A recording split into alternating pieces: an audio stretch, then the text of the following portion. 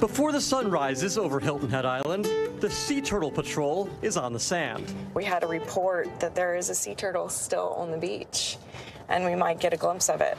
Let's go check it out. Yeah, let's go see. Excellent. Let's approach her from behind. Okay. She can see us and she can hear us. So I, I don't want to, you know, disturb her. Those are her back Her back flippers. flippers. And what she's doing right now is she's disguising her nest.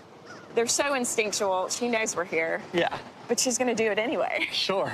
The process of finding nests usually isn't this easy. I go in with my hands until I find the nest chamber.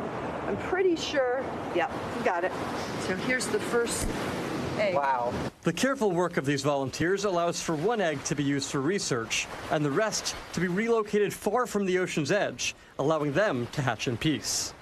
This sea turtle's mom swam hundreds of miles to get to this beach, but this egg's journey is just beginning. The egg then comes here to this University of Georgia lab where researchers spend hours learning everything there is to know about where this little guy comes from. For the past 20 years, UGA research scientist Dr. Brian Shamblin has been working to extract DNA from thousands of sea turtle eggs. We're getting to that point where a single egg can tell us who mom is, who dad is, and with that yolk, possibly where mom has been spending most of her time. Knowing what sea turtles do after leaving the shores of the Carolinas is crucial for Shamblin's research. That kind of information key to the entire species' survival. The better we understand their life cycle and the demographics behind that, you know, how many individuals and how many offspring they're having, the better the managers are able to understand how emerging threats may impact the population. And it's those threats that has Shamblin worried. We're concerned about things like climate change, plastics, you know, microplastics that are out there being ingested and how that may impact the turtles. Taylor Faraday is a master's student at UGA. Does she have daughters? Does she have sisters? And so it's so cool to be able to take this nest that we've just, you know, numbered 100 and whatever, and then all of a sudden, this is actually a mom and this is her story. And we're able to learn a lot about her and how many times has she been nesting and when did she start? And hopefully she'll do it for many seasons. It's the hope of Shamblin that teams in the lab and on the beach get to do this research for many seasons.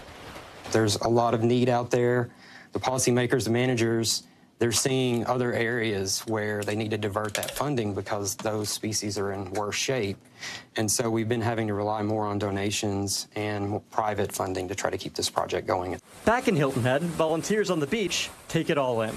When you see them in the water, you're just like, oh my gosh, you know, that is amazing. Love at first sight. Oh gosh, yeah. They've been around for millions of years, and basically humans are the main reason that, that they're under threat from a conservation perspective. So I feel like we have a moral obligation to try to do what we can to try to right some of the wrongs that have put them in the predicament they're in.